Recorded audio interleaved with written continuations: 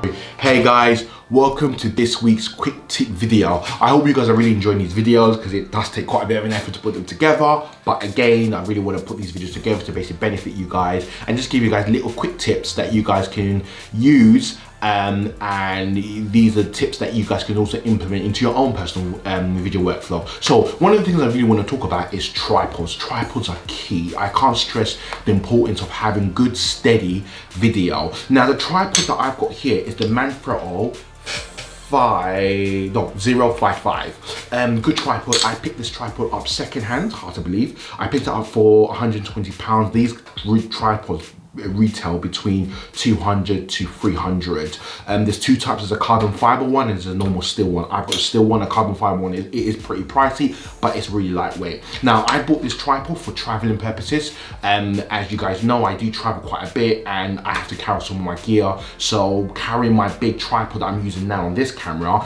is not ideal. I'd rather leave this at home or when i'm doing like i'm going to studio and i get i'll bring this tripod with me. But for traveling street stuff this is a perfect tripod. I bought the tripod in particular because it allows me to basically go quite wide. So from this, I can basically go really quite wide. So you can see that's basically quite wide out. And um, again, I could do this to the other leg, go quite wide, and there, and then the same thing with the other leg, boom, quite wide. So having a full, so these are really good if you want to do really, really low shots. Um, another good thing why I bought this tripod, just lock that back in place. In place.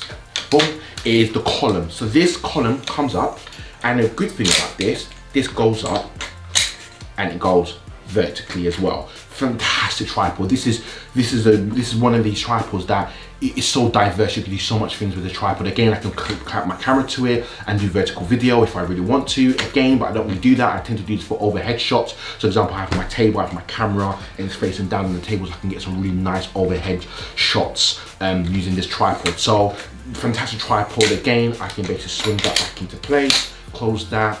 Um, it's got a little screw, so lock that back in place and good to go. Again, it's got these latches which slip, slip, and it goes quite out. And it is quite a tall tripod to be fair. That back and it's done. So fantastic tripod.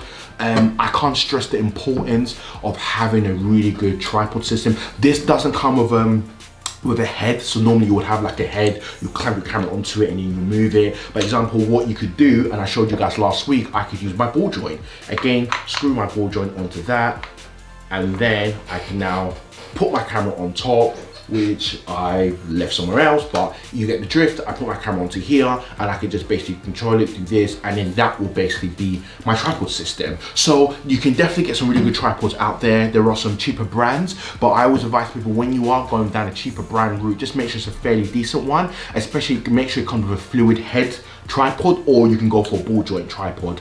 Um, so definitely tripods, I can't stress the importance of tripod systems. Um, I hope that was a good tip for you guys and I will see you guys next week. Stay blessed.